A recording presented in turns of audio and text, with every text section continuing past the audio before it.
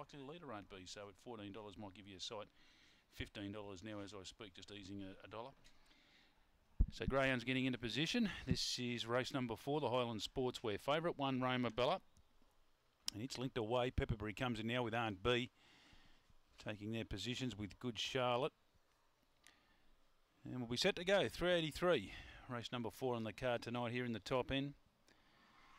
Green light on, Lure in motion. Roma Bella out to $1.90 again now, just easing late.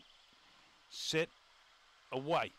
Roma Bella didn't get a great start at all, really. Goes into turn one well, getting back to second last, settling down, and Aunt B got out fast with Nigel's chance. Roma Bella, the inside, tries to improve from Pepper Bree, and then good Charlotte.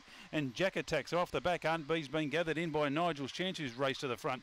Roma Bella deep out runs on behind those from good Charlotte, but straightening up. Nigel's chance in front, out of trouble, goes on to score well. Beats Aunt B, who sticks on. Third will be Roma Bella. Didn't get the great start. That was costly from Jack Attack. Uh, it's back towards the tail.